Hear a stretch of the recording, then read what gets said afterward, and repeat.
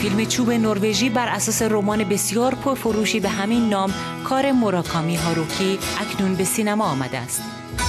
داستان این فیلم مربوط به اواخر دهه 60 میلادی در توکیو است و داستان عشق شکست خورده و درد و رنج تورو دانشجویی که پس از خودکشی بهترین دوستش کیزوکی به توکیو میگریزد. او تصادفاً با نائوکو دوست آرام و زیباروی کیزوکی روبرو می شود.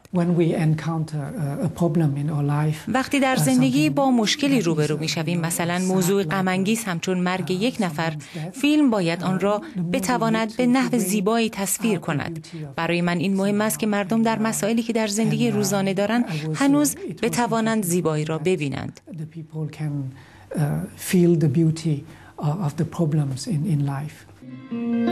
بعد از ناپدید شدن نانوکو تورو با دانشجویی به نام میدوری روبرو می شود که شادی را به قلب او باز می گرداند.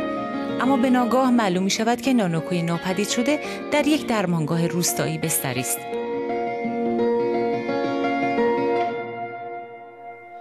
I didn't want her. اول نمی‌خواستم او این نقش را بازی کند. فیلم بابل را از او دیده بودم و نمی‌توانستم او را در نقش جدید تصور کنم. اما در اجرای آزمایشی اصرار کرد و من وقتی نوار را دیدم متقاعد شدم. او خود ناناکو بود. خوشحالم که اصرار کرد.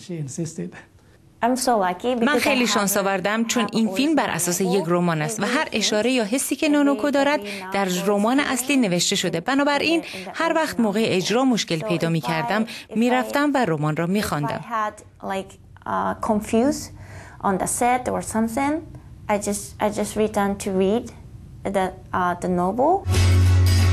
فیلم چوب نروژی شخصیت اصلی احساسات خود را بین دو زن با شخصیت کاملا متفاوت رها می‌گذارد. دو شخصیت با نمادهای مرگ و زندگی.